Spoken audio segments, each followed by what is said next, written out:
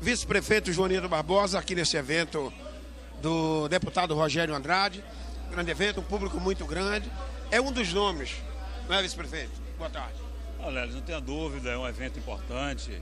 Estão aqui pessoas do cenário político, do cenário empresarial de Santo Antônio de Jesus e que fazem parte da nossa conjuntura política, que nos ajudam também, não só nos momentos de decisões, mas também nos ajudam a tocar, administrar a cidade.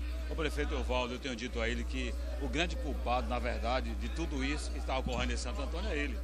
Porque se ele não fosse um bom gestor, se ele não fosse um grande líder, se ele não estivesse preparando lideranças como ele tem preparado no grupo, nós hoje não teríamos em Santo Antônio de Jesus pessoas é, da qualidade, da capacidade administrativa do deputado Rogério Andrade, de Dalva, de Leonel, de César e de tantos outros que são da nossa conjuntura política e que têm todas as, as condições necessárias de substituir o prefeito Evaldo, qualquer um deles. Ah, mas essa possibilidade de, do deputado Rogério se unir com, com um outro partido político ligado ao governo, como por exemplo o PT ou o PDT, como é que o senhor vê, vice-prefeito?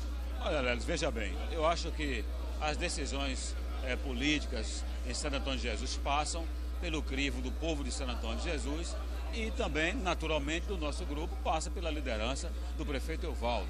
Todos nós, é, políticos e lideranças que aqui estamos, somos liderados pelo prefeito Evaldo. Disto ninguém tem dúvida. Logo, as decisões do nosso grupo precisam também passar pelo povo de Santo Antônio e pelo prefeito Evaldo Rosa. Agora, é natural que na política nós precisamos ter a sabedoria, a inteligência de somar. E cada um aqui está dando seus passos. Rogério está dando o passo dele, Dalva está dando o passo dela, Leonel está dando o passo dele, César está dando seus passos. Eu acho que isso é fundamental e importante no processo democrático. Imagine se nós chegássemos no final da nossa gestão, no último ano do governo, faltando seis meses para terminar nossa gestão, às vésperas de, do início de uma campanha eleitoral, se o prefeito e o vice-prefeito não tivesse a condição política, moral, administrativa de apontar um nome, de apontar um candidato. Então, hoje as coisas estão acontecendo ao contrário em Santo Antônio. Tem vários nomes que têm condição de ser e todos eles são liderados pelo prefeito Evaldo. Isso é muito bom, isso é louvável para cada um de nós que moramos aqui em Santo Antônio de Jesus. Agora, é claro, a nossa liderança, o nosso líder político é o prefeito Evaldo e, naturalmente, nós vamos ouvi-lo e vamos seguir aquilo que o prefeito determinar.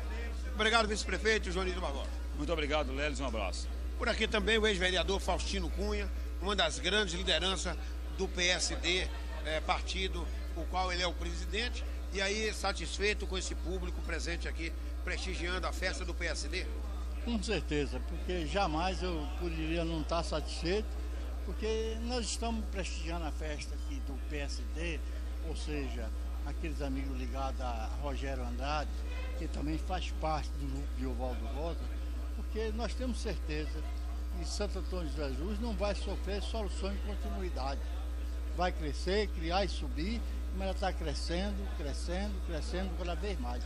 E aí é uma satisfação para mim, porque é, está aqui o Valdo Rota, o prefeito, Joanito Barbosa e todos os empresários que estão torcendo assim por uma candidatura, ou seja, a candidatura de Rogério Andrade, que é uma candidatura para continuar esse serviço prestado a Santo Antônio de Jesus. E os assédios que o deputado Rogério está recebendo de outros partidos ligados ao governo?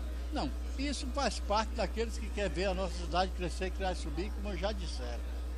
Quer dizer, todo aquele que tem influência, que é, faz parte de um partido, todo aquele que tem amor por Santo Antônio Jesus, seja Santo Antoniense é, nato ou Santo Antoniense pelo coração, e então ele luta pelo engrandecimento da terra que me serviu de berço. E então nós aceitamos de grado, de bom coração, todo aquele que quer ver a nossa cidade próspera e feliz. Obrigado, presidente. Eu agradeço a você pela oportunidade. Toda vez para falar sobre a minha terra, essa terra que me serviu de berço, eu me sinto à vontade e satisfeito para contar nossa história. Obrigado.